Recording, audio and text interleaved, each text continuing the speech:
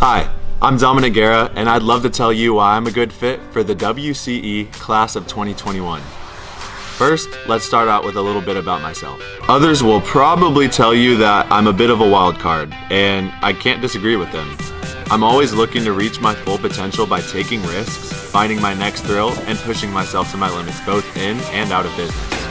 I live for experience. In my free time, you can find me trying new food, traveling, creating music, or just making new memories.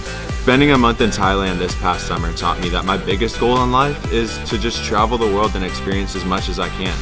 Every country provides different tastes, sights, and sounds, and I just want to experience it all. My dream is to one day own a business where I can share the same kind of experiences that make my life so special. That one plate, that one memory that just stays with you for the rest of your life. I was born in Houston, the culinary capital of the South and the restaurant industry has been a part of my life for as long as I can remember. In 2015, I helped my good friend Ron Brandani open up his first restaurant. Since then, I've been climbing my way to the top. My experience with Brandani's and other restaurants taught me how to build long-lasting relationships with people, how to work in a team when the pressure is high, and how to solve problems quickly and efficiently.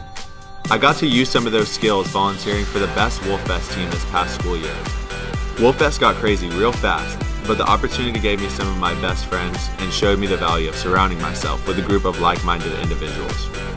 As entrepreneurs, we have a heightened sense of motivation that far surpasses everyone around us. And to be in an environment where I can push others and be pushed to reach my full potential is a dream come true.